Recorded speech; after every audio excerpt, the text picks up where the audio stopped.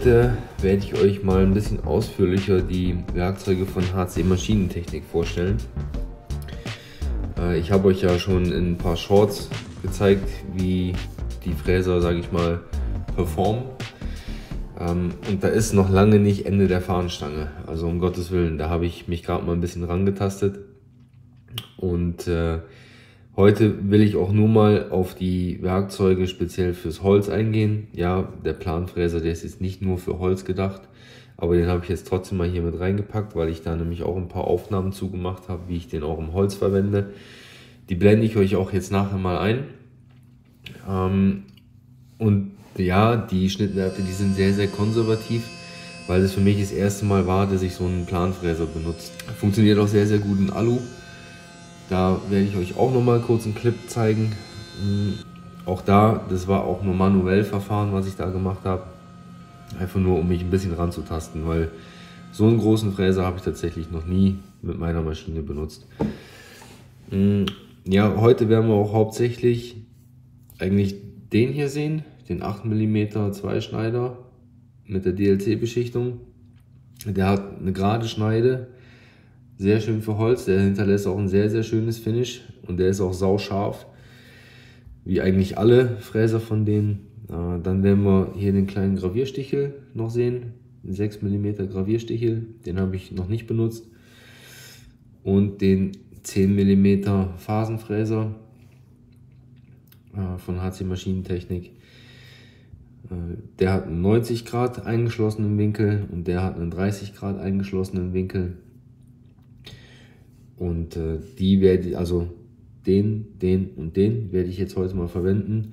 Die habe ich jetzt einfach nur noch so mit da reingepackt, weil das eigentlich das Holzfräser-Line-Up ist, was ich jetzt von HC Maschinentechnik habe. Und äh, auch die zwei hier, die habe ich auch schon benutzt. Den 6 mm Holzfräser mit der geraden Schneide und äh, der 1 mm Holzfräser mit einer geraden Schneide. Da kann ich euch auch mal kurz einen kleinen Clip zu einblenden. Wirklich nur ganz kurz. Funktioniert super. Also die hinterlassen alle ein richtig schönes Finish. Ich habe damit jetzt hauptsächlich Esche und Eiche gefräst.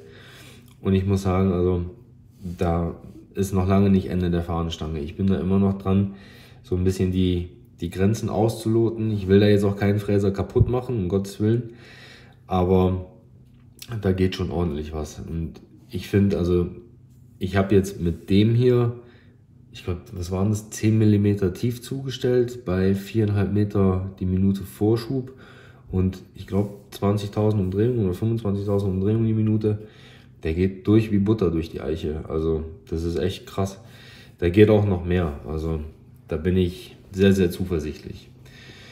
Und äh, im in einem späteren Video werde ich euch dann die Alufräser von HC Maschinentechnik noch vorstellen. Die kann ich euch auch noch mal kurz zeigen.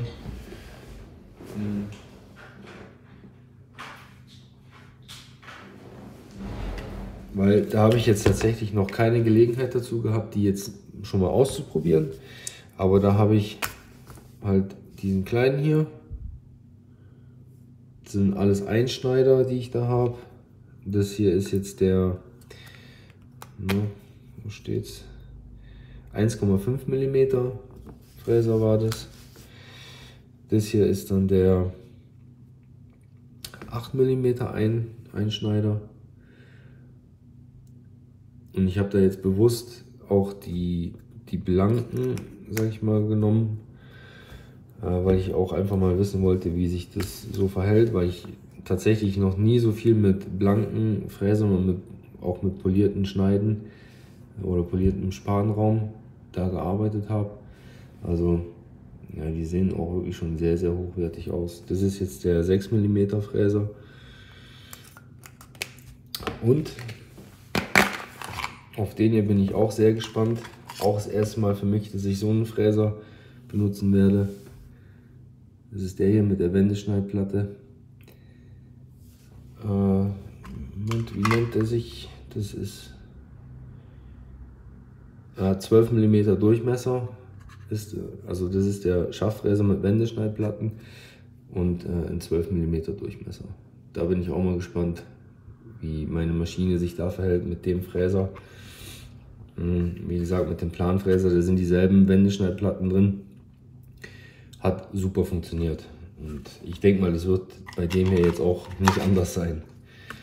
Aber ja, äh, wie gesagt, den hier erste oder so eine Art Planfräser das erste Mal verwendet und so einen Fräser an sich, Schaftfräser, auch das erste Mal in Verwendung, aber das kommt in einem späteren Video. Das zeige ich euch dann mit den Alufräsern. Heute machen wir wirklich mal nur kurz Holzbearbeitung und wie gesagt kurz die Vorstellung von den Fräsern. Jetzt muss ich mir die zwei hier noch einspannen und vermessen und dann legen wir auch schon los mit der Bearbeitung.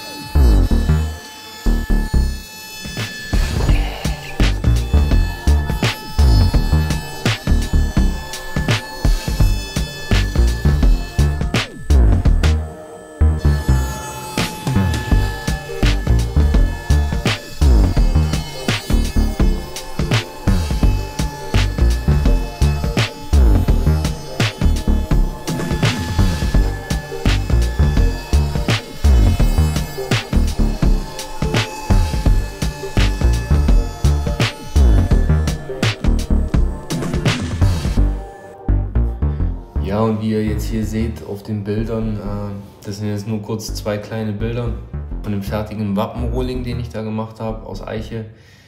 Die, ähm, die Kante, die ist nicht geschliffen und auch die Oberflächen von der, oder die Oberfläche von der Tasche, auch die ist nicht geschliffen. Also die Fräser, die hinterlassen echt ein super Finish, genauso bei der Esche. Bei den Bildern, die ich euch da am Anfang vom Video gezeigt habe, da war nichts geschliffen. Das ist alles so von der Fräse runter. Und das Finish, das ist wirklich super. Also ich kann die Fräser wirklich nur empfehlen. Die Links findet ihr dazu ähm, unten in der Videobeschreibung. Vielen Dank fürs Zuschauen, Leute. Und wir sehen uns beim nächsten Mal. Ciao.